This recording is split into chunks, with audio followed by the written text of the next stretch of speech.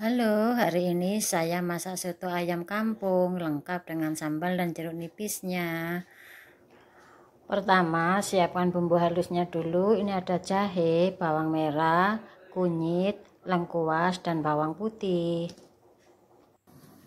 Sekarang masak ayam kampungnya.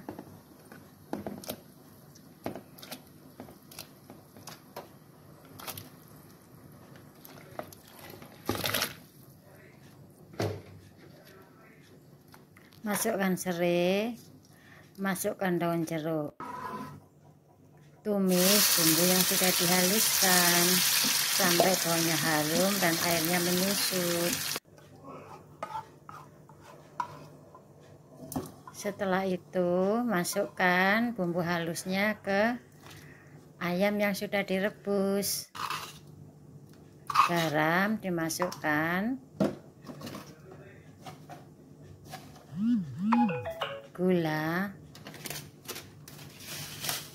kaldu jamur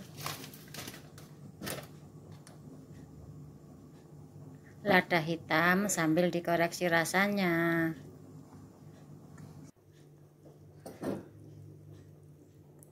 Masukkan telur puyuh karena anak saya suka telur puyuh.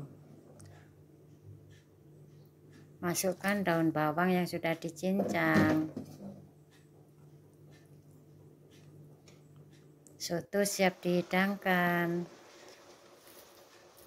Jangan lupa dikasih bawang goreng biar tambah sedap. Tambahkan sambal dan irisan jeruk nipis. Mari kita makan